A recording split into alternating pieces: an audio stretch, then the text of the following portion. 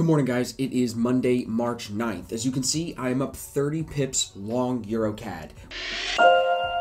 We are in for an interesting start to the week. Right now, we're looking at Dow futures down over a thousand points with the big oil news over the weekend.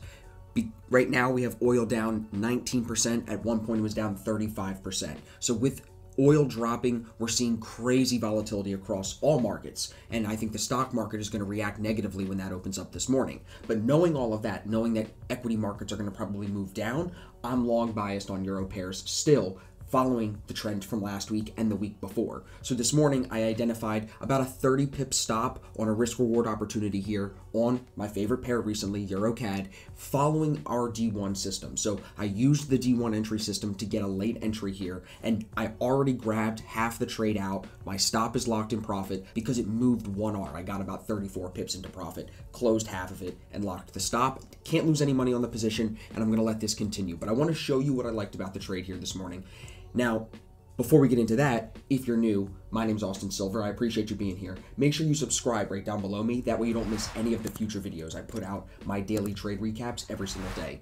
But this week is going to be interesting with all the news going on across the entire world. I mean, even here, I'm looking at the iPad. I have CNBC open. It says European stocks fall 6% and enter bear market territory as oil markets crash. Japan stocks down 5%. China and Hong Kong down 3% oil down more than 20%, like I just told you. The 10 year treasury yield down to its lowest point ever, 0.237 right now. So, a lot of interesting signals across the global economy, creating volatility, creating opportunities for us to make money. I don't interpret all of this and try to forecast what's going to happen. I use this news and this volatility to help me identify risk reward setups like this behind my entry and exit systems, the same systems we teach in our course. So now I'm up 28 pips. We're pushing back towards my 1R. There you go, 31, 30 pips now. I want to flip over to TradingView and I want to show you, you can see the divergence here pretty quickly down at 154.38. I waited for this. I could have got in at like 154.67, but I actually waited a little bit later till we broke 155. Once we were at 155, I knew I could use that kind of whole number significant level as a entry price. I got in there and now I'm watching it basically hold this yellow line, this 8 EMA. So if I turn off all the other EMAs here, let me show you. Just like this.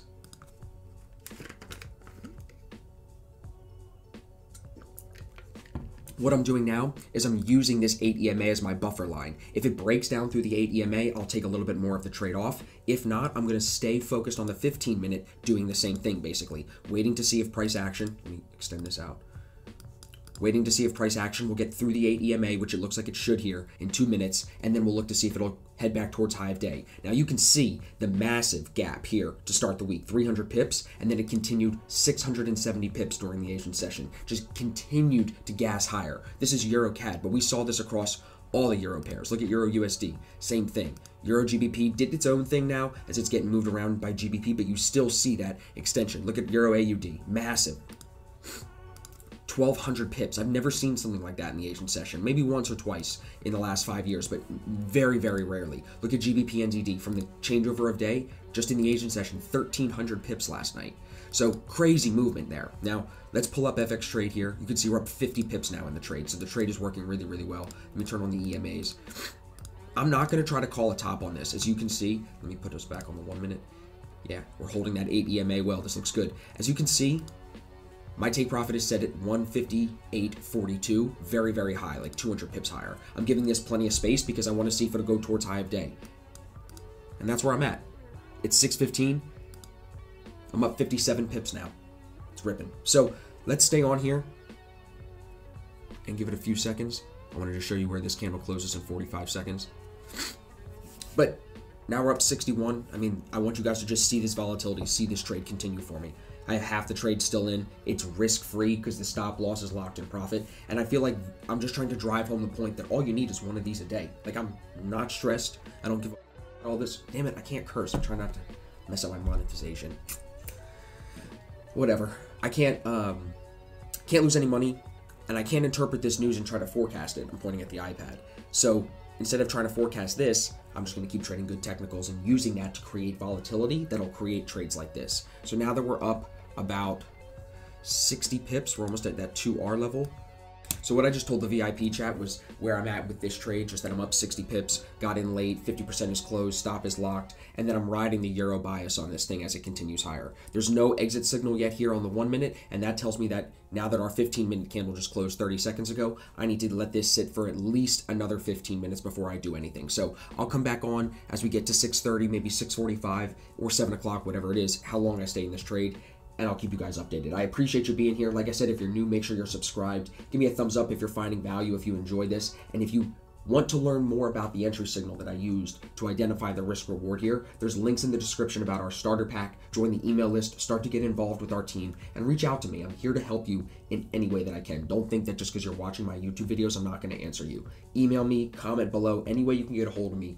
Message me on Instagram, Telegram, whatever, Twitter, any way you can get a hold of me, I'm here to help you guys in any way that I can. I want you guys to make money like I am during this amazing time to be a trader. So I'll be back in a little bit. I'll let you guys know how it plays out. We're up 50 here, and we'll give it some more time. Let's see if we can push towards high of day. All right, guys, it's 8 o'clock. So I'm up 114 pips on the remaining piece of the EuroCAD trade. After that initial pullback, you see we extended, retested the high, and actually pushed through. When we broke through the high set here at like 6.30 in the morning, once we broke through and retested, I knew that we had the potential to see another push higher off of that level. So I added in with 1% risk, which really helped pay off on this trade to add even more because it shot up over 4R very quickly. I took most of it at 4R and then a little bit more of it here as it pushed higher a few minutes later. So now I've added to the winning day just by scalping in the same direction, same bias, same conviction, same entry signal, all following the same idea. This is not that complicated. I know I want to buy it. I know how to get it at a good price, reading the EMAs, reading the TDI, and reading the market structure. You see the break, you get the retest, you move off of that following the overall direction. It's really simple. Like I'm not doing anything that complicated. It follows our system and our structure that we teach in the course, but it isn't that complicated. So now the day continues to be profitable. I have this very small remaining piece with the stop loss still locked in profit, so I can't lose any money and we're going to see how these U.S. markets open. It's only 8 o'clock. Right now, Dow futures are down 1,255 points. S&P futures are down 145 points. So both of them down almost 5%. And the VIX is up almost 44%. So we're seeing a lot of craziness this morning. If you look at the news headlines, literally all of it is red. Look at it on CNBC. They love this, right? Gold is up. Euro USD is up, GBP USD is up, but everything else is down. So we'll see how the market opens in an hour and a half, but I'm happy with this trade. I'll show you one more time here on the FX piece up 109 pips on the remaining entry. So if I take any more pieces, I will come back and let you guys know, but I'm probably done. I'm probably just going to take this. It's a really, really solid day for me. There's nothing more that I need to jab at. Of course, we could stay and trade it up, trade it down, trade it up, trade it down, but I don't want to expose myself to that risk. I've exceeded my daily goal as far as percent gain, so I'm more than happy. It's only 8 o'clock. I get to work on the Tampa seminar content. I get to go to the gym and get other stuff done for you guys. So, yeah, I appreciate you guys being here very much. Make sure you subscribe. Make sure you give me a thumbs up if you found some value. And I'll see you guys in the next trade.